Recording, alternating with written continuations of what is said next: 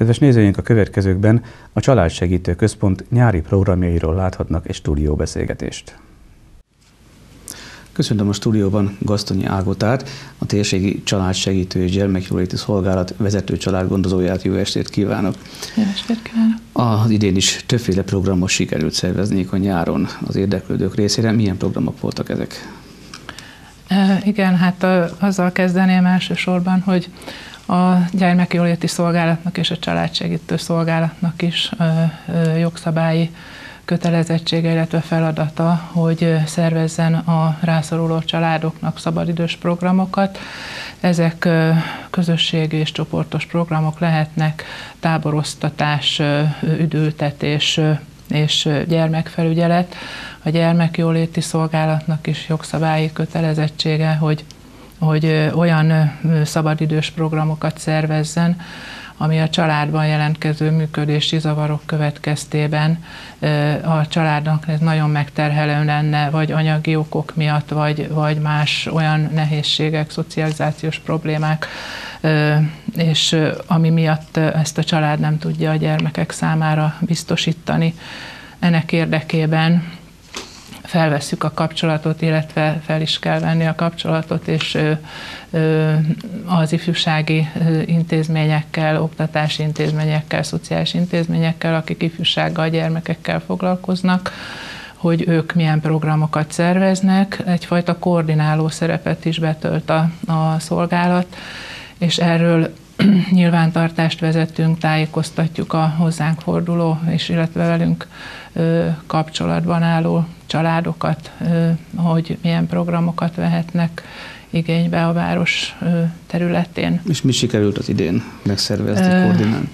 Hát kezdeném azzal, hogy a nyáron azért, tehát a nyár végén a jelzőrendszer tagjaival az utolsó ifjúságvédelmi kerekasztalon találkoztunk, nyár elején, bocsánat, tanév végén, és akkor már tájékoztattuk őket a programjainkról, nyári táborokról, illetve a napközis, napközi igénybevételének a lehetőségéről tájékozottunk mi is, hogy ezt ajánlani tudjuk a, a családoknak.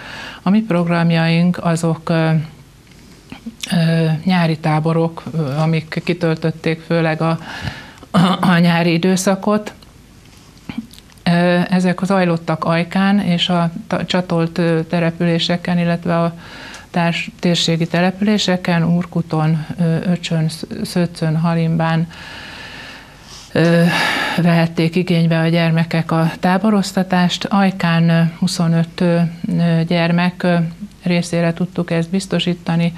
Sajnos az utóbbi időszakban egyre nehezebb anyagi feltételek állnak rendelkezésünkre, táb, pályázatok ilyen célra nem kerültek kiírásra, emiatt saját költségvetésből, ami nagyon minimális, illetve támogatók segítségével sikerült ezeket a programokat megvalósítani. De sikerült. Végül sikerült, is, sikerült igen, igen, és nagyon jó visszajelzések vannak. Urkuton 40 gyermek vette igénybe a tábort, és Halimbán zajlott a tábor, de a, a öcsről és szőcről is részt vehettek a gyermekek, akinek a szállít, akiknek a szállítását megoldották a falugonnoki autóbusszal, és itt pedig 42 gyermek vehette igénybe ezt a lehetőséget ingyenesen, illetve nagyon minimális térítési díjat kértünk. Értelemszerűen hátrányos helyzetű, illetve Igen. rászoruló gyerekek vehettek részt. Mik, mik a feltételei egyáltalán, hogy lehet bekerülni egy ilyen táborba, egy ilyen programba? Hát elsősorban, illetve mivel minimális, kevés gyermek vehetett részt éppen emiatt az előbb említett okok miatt, hogy nem volt a anyagi fedezet rá. Ö, elsősorban a családsegítős gyermekjóléti szolgálat ö, családgondozóival rendszeresen kapcsolatban álló gyermekek számára volt erre lehetőség. Itt is azok, akik leghátrányosabb helyzetben vannak, és a korosztályt is megszabtuk azoknak a gyermekeknek, ahol a, akik még egyedül otthon nem biztos, hogy biztonsággal tartózkodhatnak. Tehát 8-tól 12 éves korig alsó tagozatos korosztály vehetett részt. Ha testvérek jöttek, azért volt kivétel, hogy idősebb gyermek is jöhetett. Mekkora az érdeklődés, mekkora a jelenkedés ezekre a táborokra? E, igazából szerintem úgy gondolom, hogy városi szinten, hogyha ezt kiterjesztenénk, akkor nagyobb érdeklődés lenne, tehát nem csak ez a szűk kör vehetné igénybe ajkán. A településeken ott, ott, ott nagyobb volt az érdeklődés. Okát sajnos nem tudom.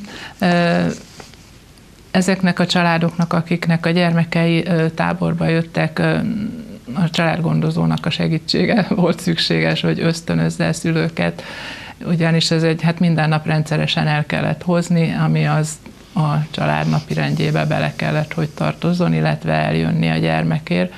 Tehát nem, inkább nem bent lakásos jellegű Nem, tábor? ez napközis jellegű tábor volt, és itt Ajkán zajlottak a programok.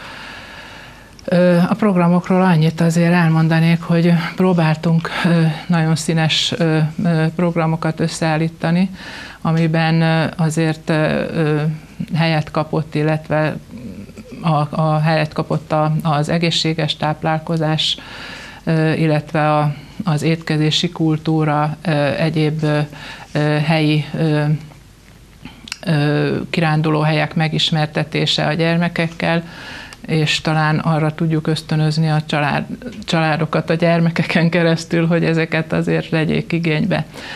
Voltak a gyermekek itt Ajkáról, Ajkarendeken, és ott volt közös program, közös főzés, gyalog túra volt Ajkarendekre.